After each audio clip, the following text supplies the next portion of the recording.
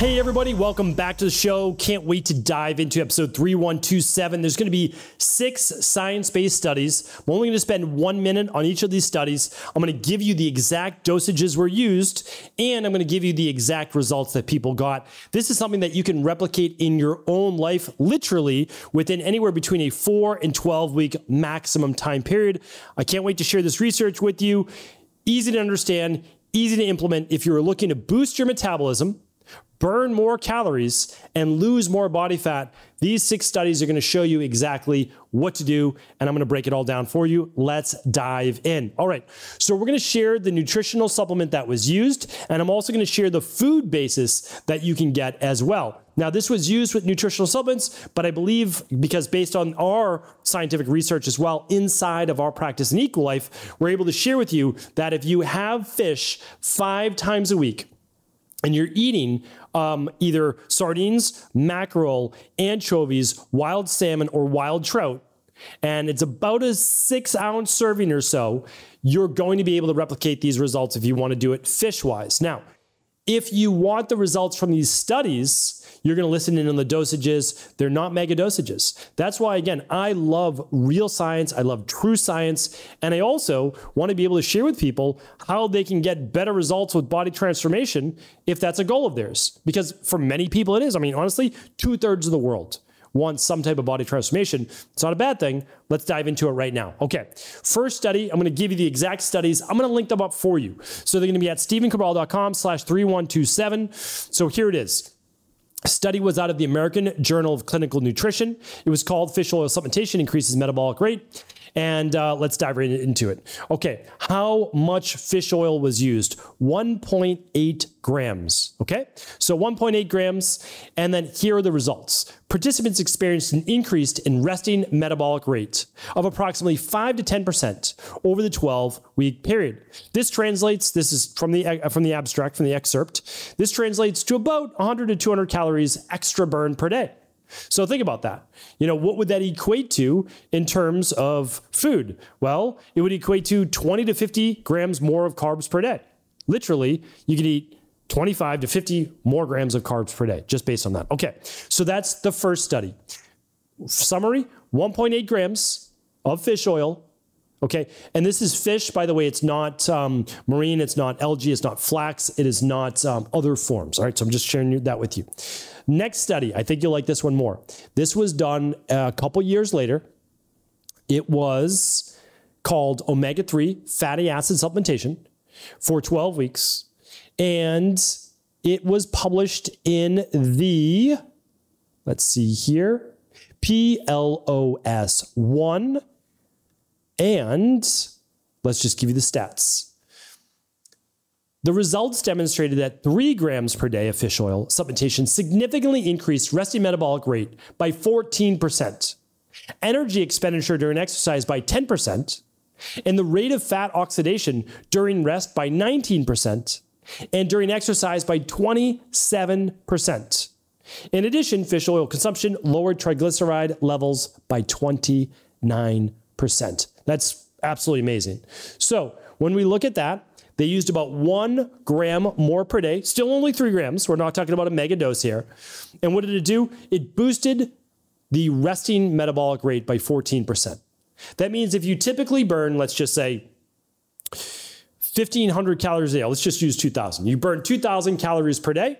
Okay, that is about how much? 200 calories would be another 10%, 100 would be 5%, about an extra 300 calories per day, three grams per day. So a little higher dosage, not a mega dose of omega 3s.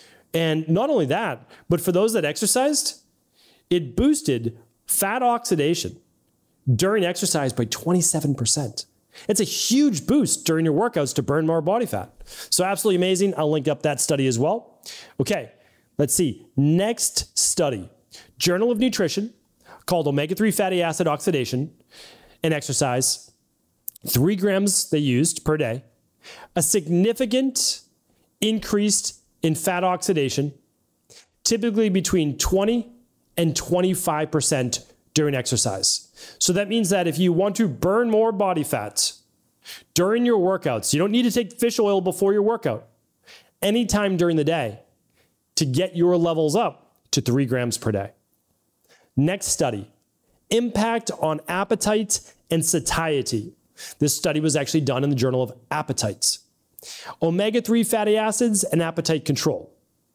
2.4 grams on average was used. Participants reported a 20% reduction in hunger and an average reduction in caloric intake of about 200 to 300 calories per day.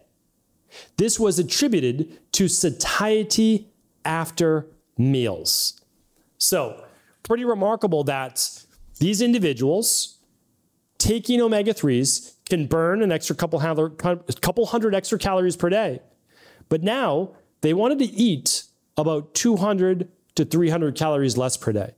If you're starting to think that this sounds a little bit like GLP 1s or the results that a lot of Ozempic is getting people, but from a much more natural standpoint, you wouldn't be wrong. Reducing hunger, right? But also improving fat loss. I'm going to tell you exactly how this is working right after I give you these last two studies. All right. Second and last study. This was done in obesity research, omega 3 fatty acids, weight loss with obese uh, population. 1.5 grams was used every single day, combined with a calorie restricted diet. Over 16 weeks, so this was the longest study, four months, participants in the omega 3 group lost an average of 3.3 pounds more than those in the control group who did not receive the omega 3 supplementation. Additionally, body fat percentage decreased by approximately 2% more in the omega 3 group. This is important. Both groups reduced calories by the same amount. One group received omega 3 fish oil, the other group did not. They received 1.5 grams. Now, they lost 3.3 pounds more just taking the omega 3s, two capsules basically a day. Okay. But what the study alludes to, but doesn't share in terms of weight loss, is their body fat decreased by approximately 2%. Well, this matters. Let's think about this. Let's say that you weigh 200 pounds, okay? Let's say that you decrease your body fat by 2%. Okay, when we look at that, that's four pounds. So again, I'm just using baseline general terms. I understand 1% of 200, we're looking at two pounds, right? And so if we take two of those, I know you'd be down two pounds and it would be 198 and it'd be uh, 1.98, but let's just use two for easy math, right? So now when we look at that, that's four pounds. So you could make the argument that an individual lost somewhere between three and seven, seven and a half pounds, right?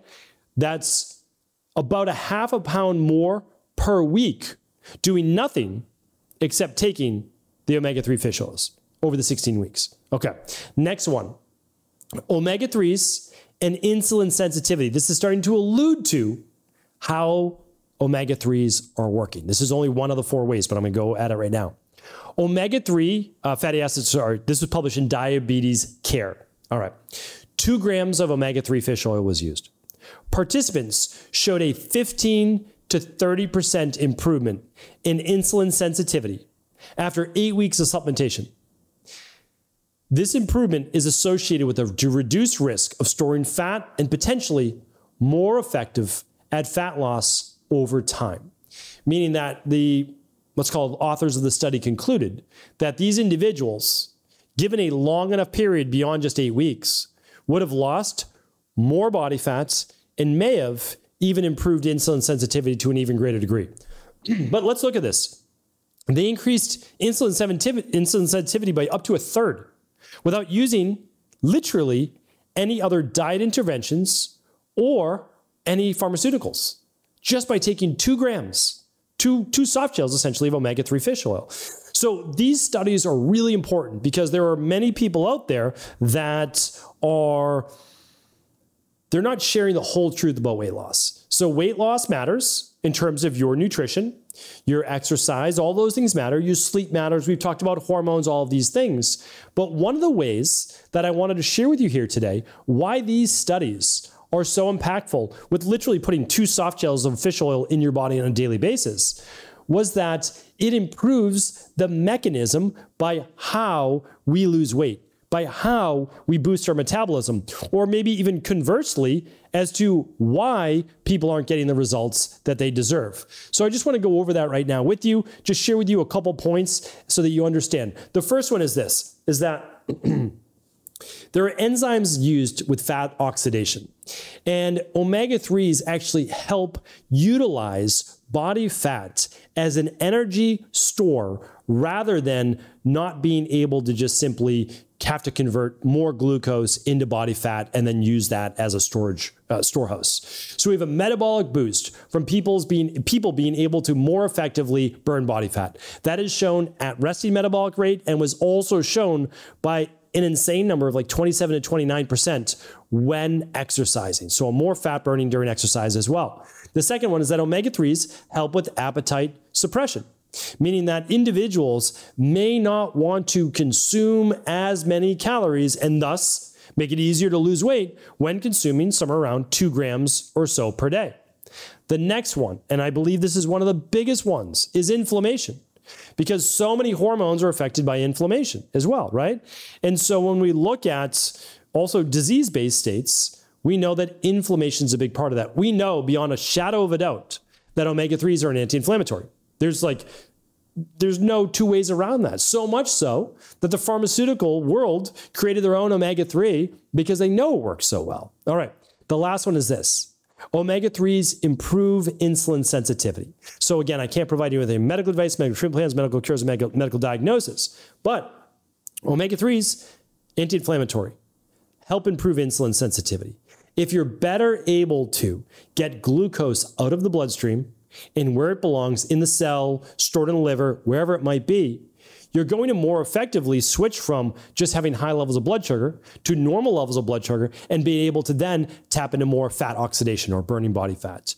So, using these four methodologies highlighted over these six studies, you're able to get better body transformation results without having to necessarily diet more or even exercise more. Although I'm an advocate of good, healthy nutrition, I'm an advocate of exercise. There are things that we can use to make life a little easier. And I don't think that's necessarily a bad thing.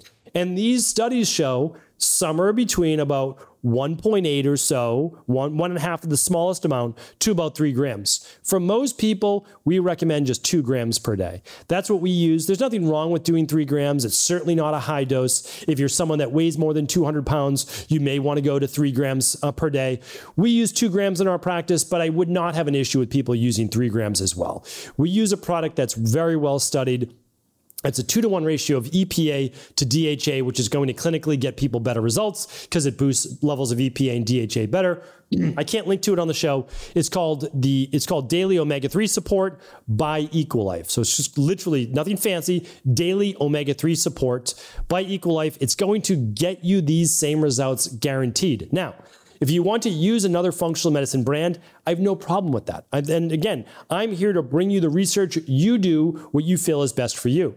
What you want to look for, though, is just looking for a triglyceride bound omega 3. You want to go for a two to one ratio or greater of EPA to DHA because it's something that we found back around 2011, 2012 is that EPA readily converts to DHA, but not otherwise. And if you want to run your omega 3 levels, we can link to that. So if you actually want to test how much omega 3 you need for you, go to stephencabral.com slash 3127.